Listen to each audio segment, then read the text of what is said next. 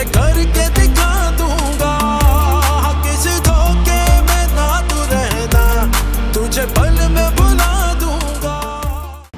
अब मीरब को वापस नहीं आना चाहिए। उससे मुर्तसिम की ज़िंदगी से निकलना होगा, वरना उसकी ज़िंदगी में मेरी जगह कभी नहीं बनेगी।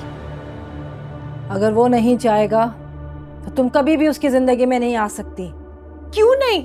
क्योंकि वो उससे मोहब्बत करता है और उसे जाने नहीं देगा। तो आप कुछ नहीं कर सकती। आपने तो कहा था वो पलट जाएगा मेरे पास वापस आ जाएगा मेरा होगा। लड़की मैंने अपना अमल किया पर उसने अपनी जान की परवाह किए बगैर उसे बचा लिया। मैं कुछ नहीं जानती। बस मैं किसी भी कीमत पे मुर्तसिम को खोना नहीं चाहती। कीमत बहुत ज़्यादा है।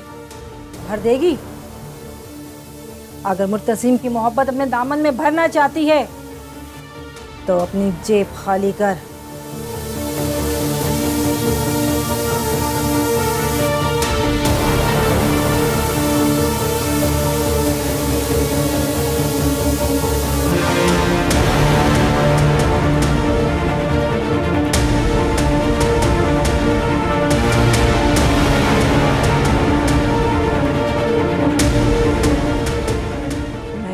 चीज़ें उसके पीछे लगाऊँगी कि वो खुद ही डर के भाग जाएगी। मुर्तसिम तो क्या? वो खुद भी पहचान नहीं पाएगी। आ,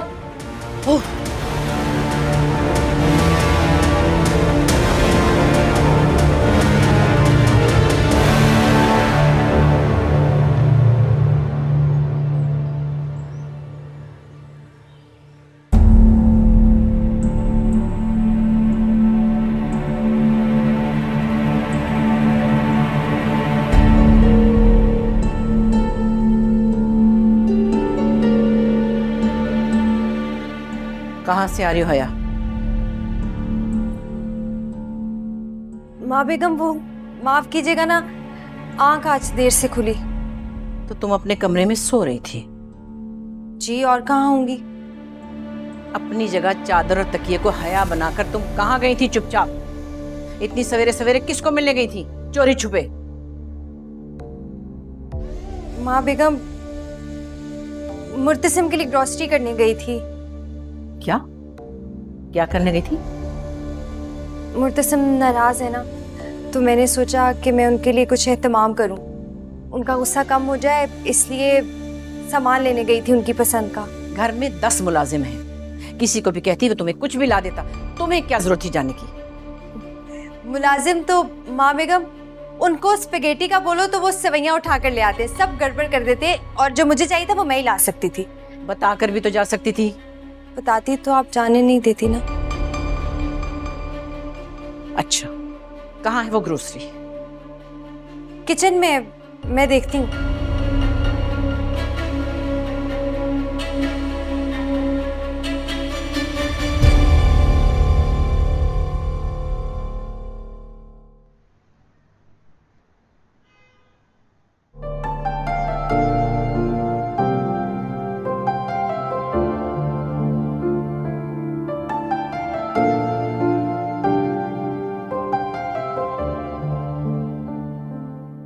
मुर्तसिम मुर्तसिम कहीं जा रहे हो? क्यों? तुम्हारे लिए मैंने खास खाना बनवाया है रात के खाने में। किस खुशी में? तुम्हारी सेहत याब होने की खुशी में। क्यों करती हो ये सब? क्यों नाराज़ हो मुझसे? से नाराज़ नहीं तो फिर दूर क्यों? ठीक है मैंने कुछ बातें तुम्हें सही कही कुछ गलत बयानी हो गई लेकिन मैं माफ़ी मांगना चाहती हूँ तुम बात तक नहीं करते। आया प्लीज़ नीरब के लिए मजीद मुश्किलें पैदा मत करो। जैसे मैं क्यों? बीवी है वो मेरी। अगर उसको तकलीफ़ होगी तो दर्द मुझे भी होगा। समझती हूँ बीवी है तुम्हारी तुम्हारी ज़िम्मेदारी है। लेकिन प्लीज़ मुझे माफ़ कर दो। अच्छा आइंदा मीरब को कुछ नहीं कहूँगी नहीं करूँगी उससे तंग। चाहो तो कसम खा लो। इसकी ज़रूरत नहीं है। तो मत जाओ ना। साथ खाना खाते सब कुछ तुम्हारी पसंद का बनवाया है।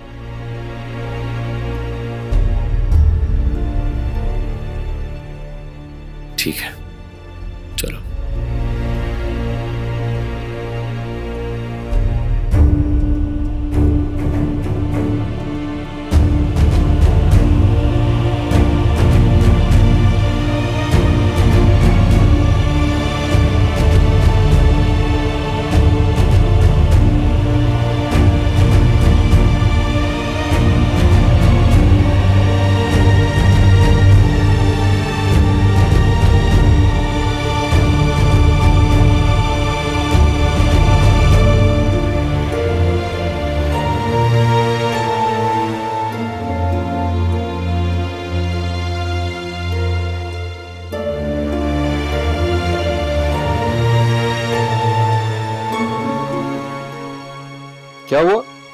ऐसे आ क्यों गई?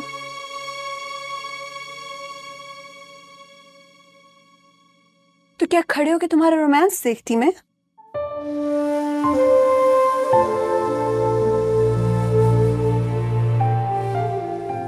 मेरा रोमांस बड़े हाथ पकड़े जा रहे थे।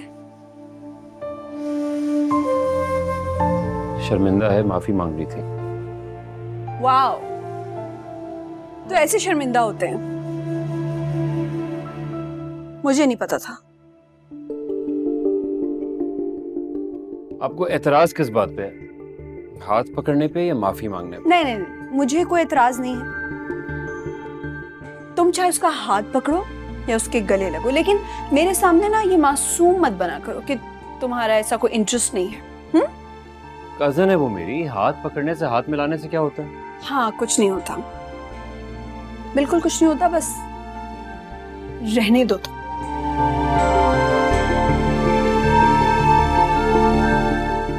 मीरब बस बहुत सुन लिया मैंने। और मैंने बहुत देख लिया। जब तुम्हें पता था कि वो तुम पे मरती है तो तुमने मुझसे शादी क्यों की? क्यों आश्रय में रखा उस लड़की को? एक ही वक्त में दो दो लड़कियाँ। वेरी गुड तुम बिल्कुल पागल हो गई हो। मैं पागल हो गई हूँ। हाँ? मैं पागल हो गई हूँ, वहाँ एहतमाम हो रहे हैं, हाथ पकड़े जा रहे हैं और मैं पागल हो गई हूँ। तुम उसी के साथ रोमांस करो, मेरा पीछा छोड़ दो।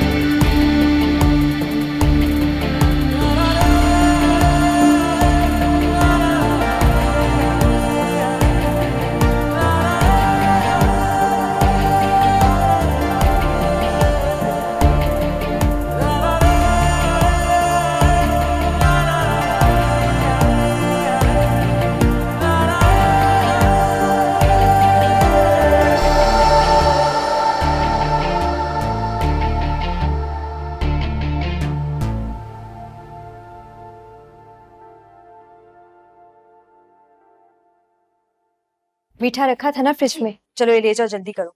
वो बीबी जी खान जी का खाना है। जी क्यों? असल में आज खान जी बाहर लॉन में खाना खाएँगे वहाँ इंतज़ाम किया है। अरे वाह! तो ठीक है तुम लोग ये बाहर ले जाओ खाना मैं भी देखती हूँ। असल में बीबी जी खान जी ने मीरा बीबी अपने लिए बाहर खाने का इंतज़ाम किया है। मीरा बीबी के लिए सरप्राइज़ रखा है। अच्छा ठीक है। तुम ऐसा करो बाहर जाके देखो लॉन में उन्हें किसी चीज़ की कोई कमी ना हो। जो हुकुम। और हाँ ये खाना तुम लोग डाइनिंग टेबल पे लगा दो। हम सब घर वाले यही इकट्ठे खाना खाएँगे। अनवर को भी बुला लेंगे। जी जो हुक्म बीबी। हम साथ खाएँ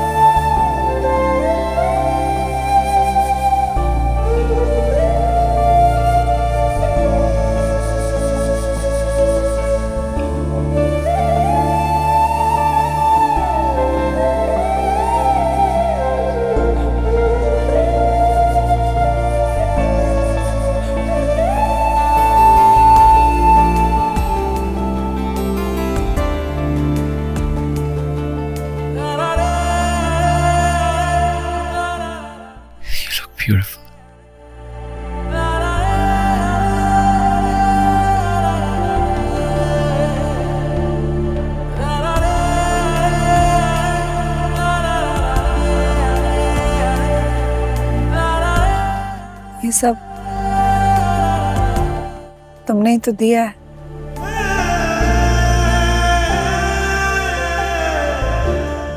और किसमें इतनी चाहत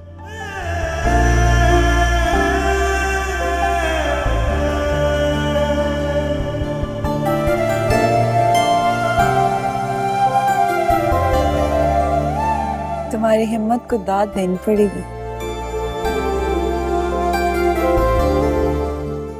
क्योंकि ये सब किसी ने बहुत प्यार से तुम्हारे लिए किया था।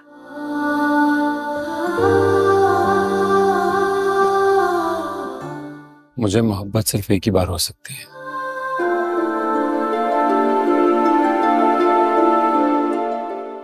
और वो किससे हुई है?